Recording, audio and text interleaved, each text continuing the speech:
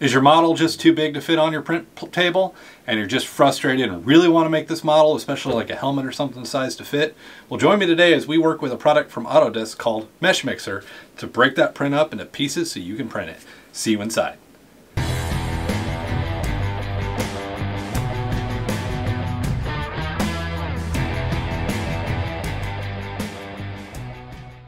Hello and welcome to today's video. Today, as I said, we are going to teach you how to break up a model into smaller pieces so that you can print it with your Ender 3 or smaller printer.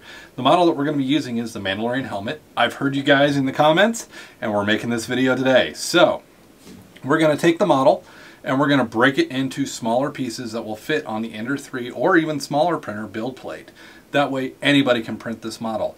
Now if you go out on Thingiverse, I think there are models that are already broken down other than the one that I used. But we're going to break down the one I use because it's a fantastic model. It's got clean lines. It looks really nice. So we're going to hop over to the computer. We're going to load up Meshmixer. I'm going to show you where you can go download it for yourself. Um, they do have Windows and Mac versions, so computer limitations, not really a thing. But there is a new version 3.5 out. I recommend getting that one. That is the one I'm going to be demoing for you today. So, but before we head over there, please hit that like button, hit that subscribe button if you want to continue seeing content from this channel. Join the crew, help me out. It really does help me out. Show me, shows me that you guys are see, digging the content that I'm creating. And also, leave a comment down below if there's something that you want to see. I want to try to help you out and get you 3D printing as fast as you can and not have to deal with some of the problems of figuring this stuff all out like I had to. So, with that said, let's hop over to the computer and let's get this thing broken up. All right, so we are at the computer, and as you guys can see, up on my screen is the Meshmixer website to download the software. The awesome thing about Meshmixer is it is free software. It is from Autodesk. It works really well. It lets you do a lot of advanced stuff that you can't do in a slicer. It has Mac, it has Windows, and you can currently on the screen it's showing you two different versions. I'm doing everything in Windows 3.5. Um, but this also gives you the compatibility to use either platform, which Cura works with either Windows, or Mac. So um, you're not limited on what computer you can use here. So Meshmixer is a pretty awesome tool that I like to use. Um, you can install it in whatever directory you choose to install. I just did the next, next, next, next, next, and install and installed it on the computer because um, I'm not really concerned about where I put it, but if you do, there is where you can change the directory and all that stuff. So, but this is the website up there in the upper left. You can see it, meshmixer.com, download.html, and you can download this file for free. So there is no account needed, no sign in, nothing. So I'm going to pull a meshmixer in. This is the actual program. So it looks a little daunting, doesn't it? um, I am going to show you just some basic how to cut a model. I'm not going to go into a lot of other features or anything. We're just going to make this model into multiple parts. That way you can actually print your model on an Ender 3 or even smaller printer. So the first thing I'm going to do is I'm going to bring the model in. So I'm going to bring the full helmet. You can drag and drop or you can click import and go get it. so we're going to let it generate the mesh. Again, if you guys are enjoying this content, you know, hit that like button, hit the subscribe button, join the team. And as you can see, it's brought it in down below. Now, one thing you will need to do is, let's let me find it again. So I had to add a printer. Creality is not in the list. So you can go to printer preferences and you can go to add and add your printer's um, size of your print your print plate. So for Creality, I added the 235 by 235 by 300, which is the standard size of that build plate, the 235 millimeter by 235 millimeter. Adding is simple, just go in here and manufacture, add your width, depth, and all of that, and you're good to go. Hit add, and then up in this upper corner, choose your printer, which I have Creality and I have my Ender 3. So I'm going to back that up and then I'm going to move this around. And as you guys can see, it's not sitting on the build plate right.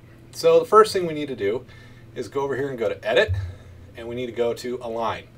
That'll pop it up on the build plate, hit Accept, and boom, we're up on the build plate. So now we've got it up on the build plate. And as you can see, it don't fit, it's too big. So that's fine.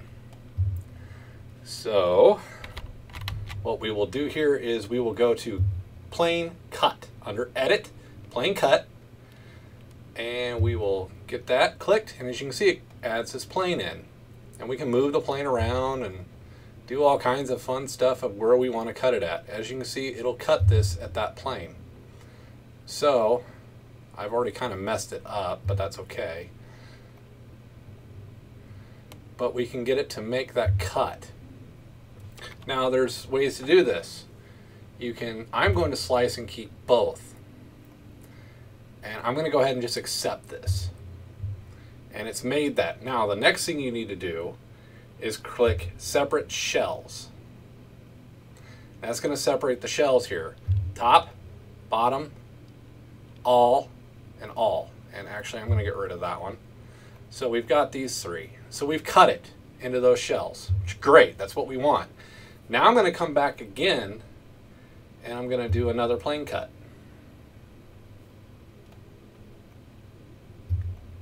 Maybe. Oh wait, I hit, no, I don't want to create a pivot. No, edit, plane cut. And I'm going to cut this another way. So I'm going to cut this four times.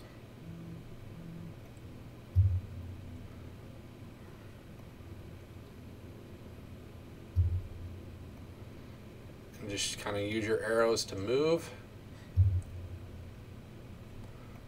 I kind of want to I need to straighten this out. And we'll straighten that out.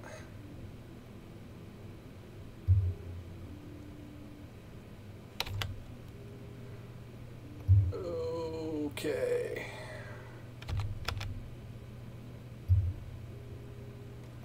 And we're going to scoot that over.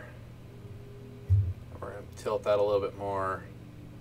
And I'm going to try to get a center fourth cut and I'm going to keep both pieces. I'm going to accept.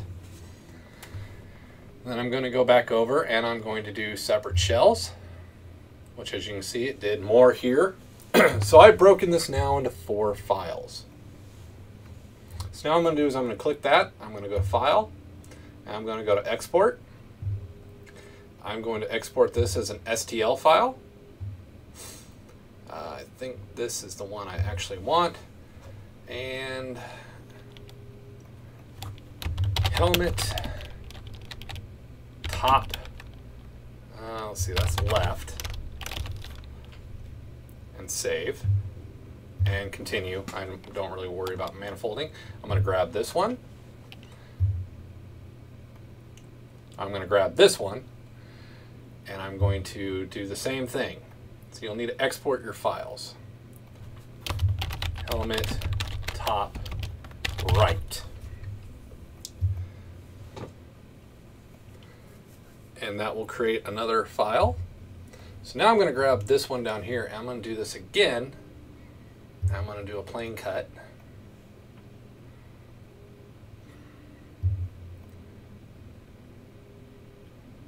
Right there. Oops. And I made a mistake. I forgot to go to slice keep both. So I'm going to accept, and it's kept both.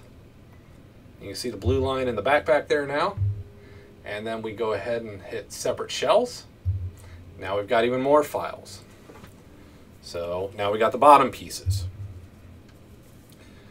So basically all you need to do is cut this up and export it to the sizes that you need to fit your printer.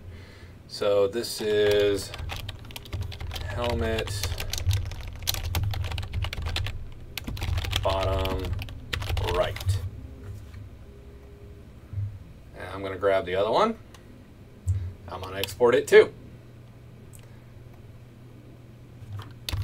Helmet, bottom, left. And I may have this backwards. I'm just doing this so we can do smaller printers. So now we've got this broken up. So now I'm going to open helmet bottom left.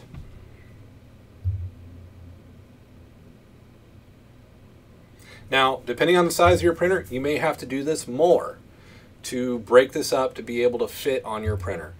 This is just an example of how you do it. it once you export it and you load it into Cura again, which is about to come up in front of us, okay, so it took it off to the side. And we'll get it onto the build plate here. Now this may not fit. again, you may just need to keep cutting it up until you get a piece that fits. Uh, let's see here. Move you onto the plate. Yeah, you're probably, this piece is just probably just too big. So I'm going to clear my build plate. I'm going to go get the top. So that piece should almost fit. Boy, I didn't cut this very well. But you guys get the point. You can cut this up into multiple pieces using this method. So, and you, you can see they're cut, they're thin line, and they're cut to meet their other half. So you see the one cut, and then you see the other cut coming in here. This is how you break down your model into the pieces that you need to, to print. So hopefully you guys have found some uh, really good information here. If you guys want more videos on Meshmixer, like how to do pegging and different things like that, you know, leave me a comment down below that you want more. Um, this is just a simple video of how to cut it up to get it down to your build plate size to make it even easier for you to print. So, you know, let's kick back over here. So we got this piece. We know it's too big. So I'm going to come over here and I'm going to cut it again. So edit, plane cut. I'm going to tilt that up right there. I'm going to accept it. Then I'm going to do separate shells. Oh, the, oops. You don't have to do that when you, yeah, I messed up. Undo back, undo back. Keep both. That was my mistake. And then you do separate shells. And then it'll make these parts. So I'm going to take this piece, I'm going to export it. I'm going to export it as that STL file, helmet smaller. And we're going to hop back over to Cura. We're going to delete that from the build plate. And I'm going to grab helmet smaller. And boom, there's that section. Now it's showing that it's not manifolded. Don't really worry about that. Um, it'll it usually prints just fine. But if it does become a problem over in Meshmixer, keep a hold of that, go to Edit, and, or no, go to Analysis, and Inspector, and Auto Repair All. So this will check for all the problems the model has, and it will do some repairing. Now this may take a minute to go through and do, but this is just one more function that you can do, especially if it just doesn't look like the model is going to work right. You can go through and fix these pieces. So we'll grab this one, do the same thing, analysis, inspector.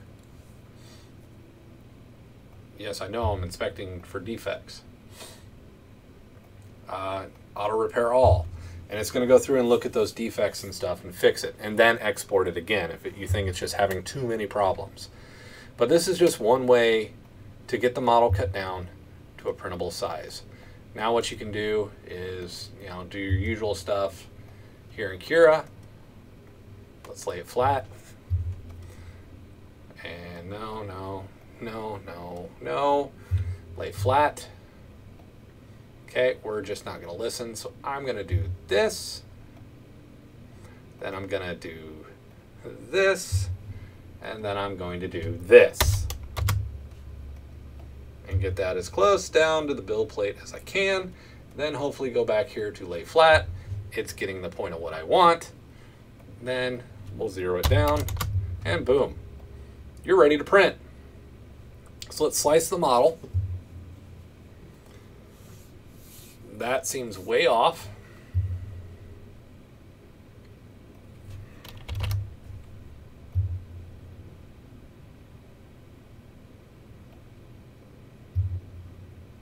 So it is kind of having some problems. So let's resave it after I've run the inspector. File, export. And you guys are just going to have to play with this. Some models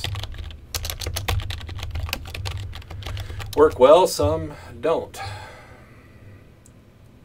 So let's hop over to Cura. I've got re the repaired one that I've run the repair. We'll run it off this Cura where I was just playing. And let's see if it has the manifolding issue. And see, this time it came through fine. So the repair worked. So there you guys go. There's how you can break up the Mandalorian helmet, get it down to your printer size, and get this thing printed. Same with any of the armor pieces, any of it. This is a real simple way to remake your files. It does look like a lot of work, but believe me, if you were to pull the chest, the helmet's kind of difficult because it's a dome. The chest plate, you could probably come in here, one cut, cut it in half, and boom, you're done. Um, it just depends on your printer size, to be honest with you. And that's kind of one of the things that makes this limitation of what we're trying to do.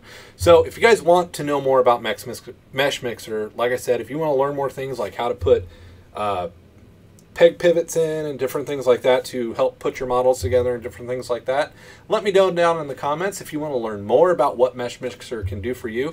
Definitely let me know and I will be glad to make a video. But this has been a common requested topic um, ever since I released the first video on the Mandalorian armor is, can I print it on this? Can How do I make it to where I can print it on this and not have to shrink it? Well, here's how you do it. Here's how you cut it up into pieces so that you can do it. Um, I've had a lot of people ask for this, so here's that video. I hope you guys enjoy it. Let's get to the final the recap, and thank you guys. We'll see you over there. All right, so that's breaking it down into smaller pieces. So there is a whole bunch of other stuff that you can do with Meshmixer, including fixing errors in the files and different things like that. If you guys want me to go deeper in the Meshmixer, leave that comment down below. Let me know you want to see more from Meshmixer and more of the abilities of the software. This is just one feature that you can do within the program that I find to be a very useful and handy tool to get my jobs done. So again, if you guys enjoyed what you saw today, hit that subscribe button, join the crew. I really do appreciate it. Want to see you here. Want you to join the community and help others out as we all continue to grow and learn about 3D printing. Also, hit leave those comments down below. Let me know what you want to know, what you need to see, or just ask questions. Even if it's not about Meshmixer, I will gladly talk with you. I want to build that community. If you're curious about my day-to-day -day operations and different things as I go through projects, follow me over on Instagram. The link's down below as well. Um, and join the Phoenix Rising community over on Facebook as we try to build that so that we can get more conversations and stuff going on. So thank you guys. I appreciate it. Happy printing. We'll see you in the next episode.